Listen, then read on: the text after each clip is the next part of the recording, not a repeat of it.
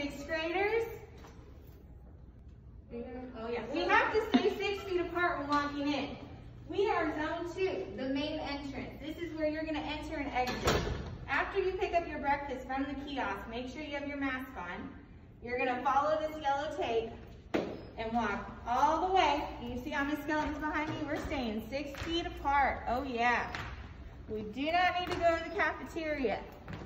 So we're just gonna keep on going down this main hallway until we get to our new and awesome classrooms.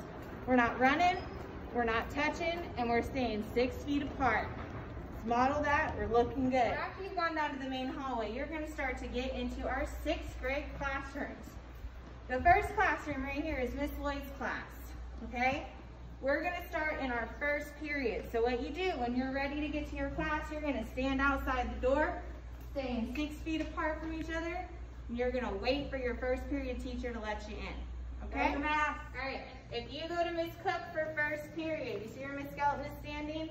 That is the start of the line where you wait. So I'm the second person in line, I'm gonna stand at the tape right here and wait for Miss Cook to let me in. Okay, if you are in Miss Skelton's first period class, you're in STEAM Lab 215. So your Miss Skelton is standing. That is the start of our line, waiting outside our room. Second person in line is gonna fall away here and wait for Miss Skelton to let you in. All right, so after Miss Skelton has let you in and she tells you where you're going to sit. So say for example, Miss Skelton says that this is my assigned seat.